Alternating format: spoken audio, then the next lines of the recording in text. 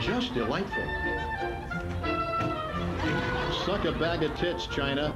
Bela Karolyi right out to congratulate him. Must be nice to hug a man and not a 12-year-old girl that will never have a period.